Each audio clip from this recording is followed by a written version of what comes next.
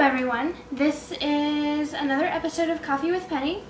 We are, joined, we are joined by Aurora, and today we're going to be talking about different methods of cleansing. So there's the very typical way of smudging, which is the basic traditional Native American way. Um, seashells or a bowl and sage. This is desert sage. This is a White desert sage? Blue sage? Desert sage? Yeah, this is also desert sage. If you do burn anything in your seashell, it's good to put sand or salt within the shell so it doesn't crack. Um, otherwise, the heat will crack it, and you do have to be very careful with that. And also, these, if you use salt, you can make black salt Mhm. afterwards. Another way, which a lot of people don't think about, is with sound. Music, humming, singing, chanting, all of these can um, help cleanse the space. It's just another method. Um, I like to use bells, especially a brass bell, but pretty much anything you can think of that makes noise can work. Um, This is my tiny bell. um, drumming, drumming works great. Gongs work great. Uh, wind chimes are a wonderful way to add music and sound into your home to help cleanse it. You can also just go to YouTube and search for like tones that cleanse things or anything like that and just play it on your phone and like just walk around and that works too. And just speaking, laughing, singing can do the same thing. Um, another way is with an athame or a wand. This is one of my athames. It's made out of wood. And what does an athame do? It literally projects energy. So what you do is you focus your intent and you say a prayer or just focus your intent and make sure that you go throughout the house cleansing it and making sure that you make a barrier with this so that only things that you allow and invite in are able to come in. The next thing you can do is you can place little bowls of salt around your house and Like in the corners yeah, and things. in the corners. And you can add stones. Um, I have an amethyst, a little rose quartz for love, a smoky quartz to help collect negative energy, a citrine to help energize everything and keep everything um, charged.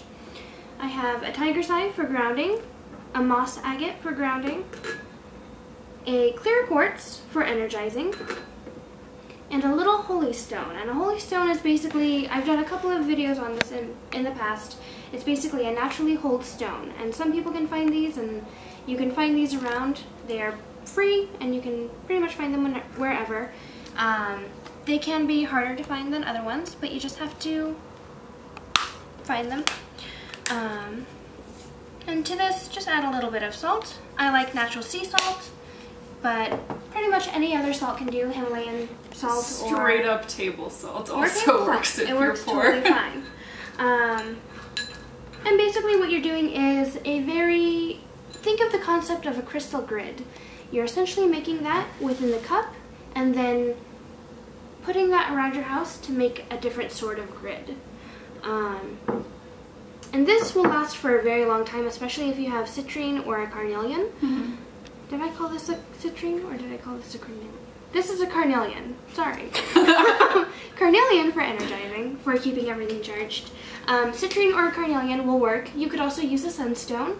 Um, Basically anything orangery, although Yes. you're kind of good. once a month, put this all under the new or under the full moon or under the sun and let it recharge, and then put it around your house, and it works just like new. Um, the next thing you could use is flint or obsidian, anything that has a natural edge to it and is glass-like. Um, obsidian is a really, really powerful stone for cutting ties, and flint does the same thing, only it's a little bit more gentle. What Um, about black tourmaline? Black tourmaline, I don't use a lot because It disappears. yes, Just because it disappears. disappears. Also because there is a problem with ethical harvesting of Mhm. tourmaline, and we do have to be very mindful of where we're getting our stones. If you can find tourmaline that's here in the that's from here in the U.S. or from Canada or from any part of Europe, pretty much, it's okay.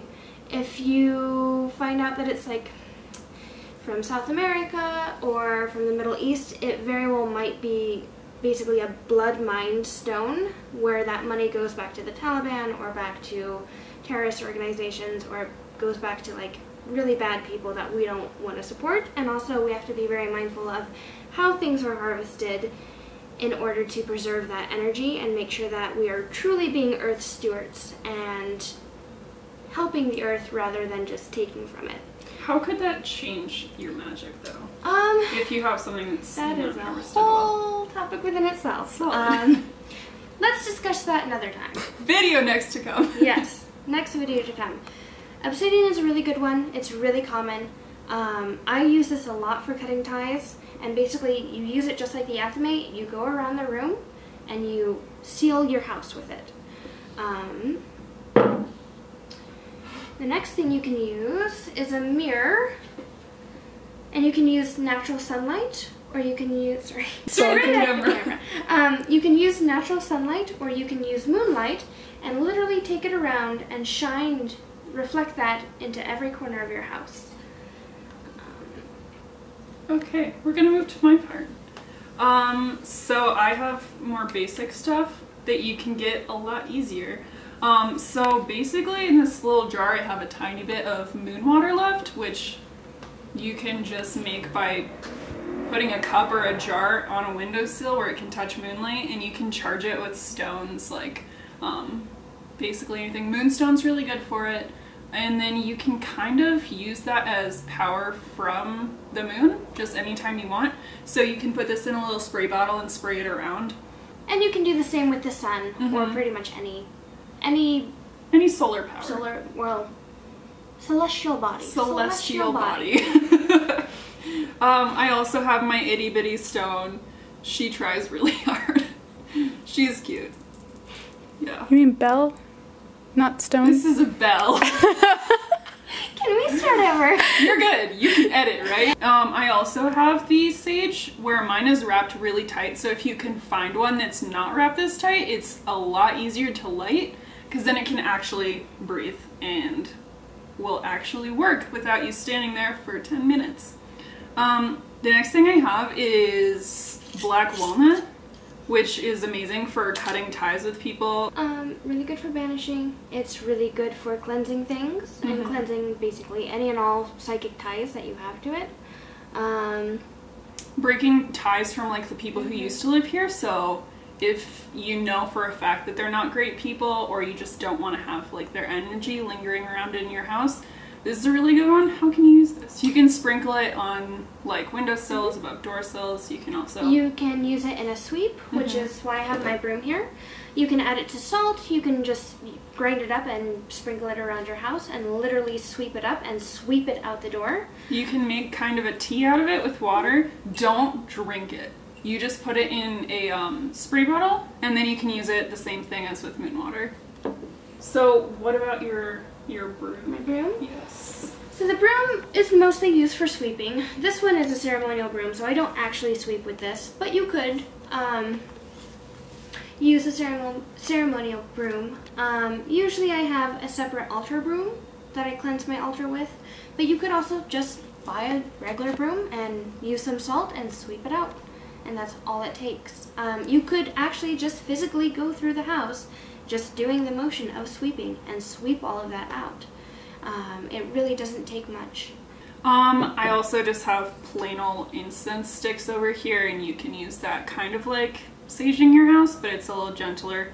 And depending on what is in it, you can kind of put a feeling or sort of like a blessing, if you know what I mean. Prayer. Sort of like a prayer or blessing into your house.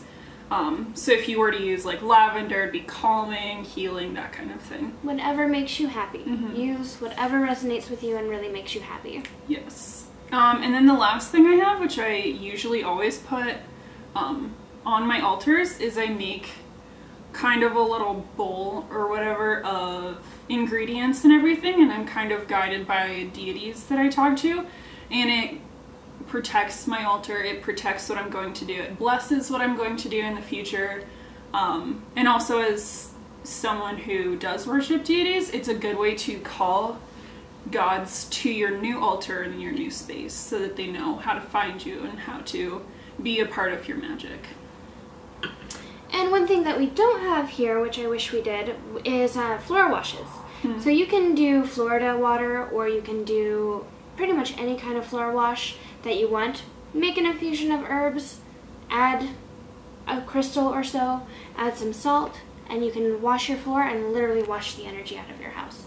You can also do this for the walls, you can do this for pretty much anything. Mirrors are great. Um, and that's a really, really good way to cleanse your house as well. Another super cheap way that you can do stuff that you've talked to me about before is that you can literally just grab a kitchen knife and you can use that to cut away any previous ties. And you can do that with houses, with people, with basically anything, which is super cheap.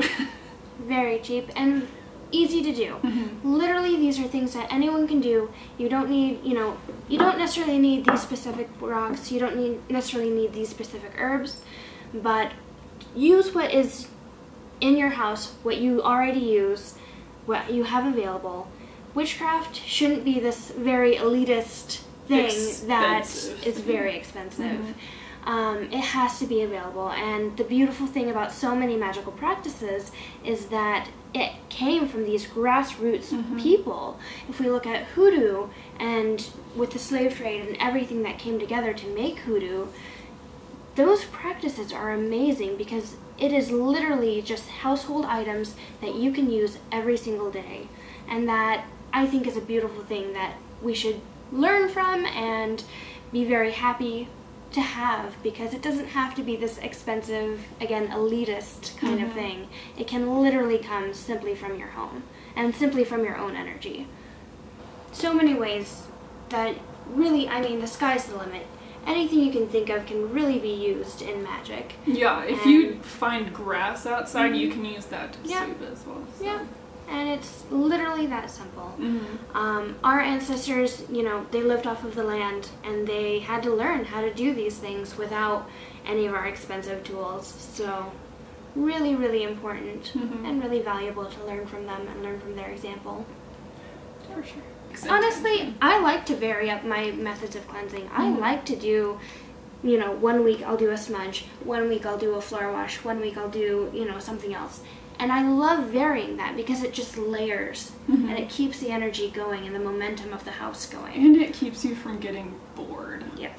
Instead Yes. of walking around your room every week in the same direction, waving sage, saging your mm-hmm. door, you actually get to do fun, interesting mm-hmm. things instead of Yeah. just going through the motions. Because I feel like I've done that before, and when I go through the motions, I put no intention behind it. I'm like, waving it, we're good. And it doesn't work at all, Right. obviously. And you could also just dance. Dance in your home. too. Have happiness in your home. Your home should be a joyous place that you love to come. And if it's not, then we have to work on that. That's another video to come to. That's another video. um, yeah, have joy. Um, be joyous in your home. Feel safe in your home. And that's kind of one of the things that we really need to bring back to a lot of ceremonial witchcraft. I think a lot of people get caught up in like trying to make it perfect, and it doesn't have to be perfect. Just have it be sincere. Mhm. That's the most beautiful thing. Um, yeah. Yeah, that's that's what it. do. I don't think I have anything else to add. so if you would like to like, share, and um, comment below, that'd be great. We also How do you cleanse your house? Yeah, we would love to hear it. We would love to hear your techniques. If you have any new ones, hit us up. hmm Absolutely. I'd love to hear it. We also have a free educational group on Facebook. Feel free to join us. All of those links are going to be below in the description box. We also have a Patreon, which, you know, I mean, we haven't done much with yet. We're still kind of figuring it out. But we would love to engage with you guys more and have classes and have, you know, one-on-one tarot sessions. Mm-hmm. We would love to have that. So if you feel like supporting us and you are able to support us, please do that. And that's going to be in the links below.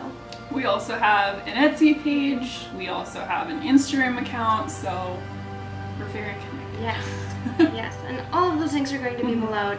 Feel free to check us out. We always have something going on. And that's the thing, we're here to talk to you. So if you have a comment, if you have a question, please just let us know. Yeah. And I think that's all. So thank you so Thank much you. for watching. Have a good day.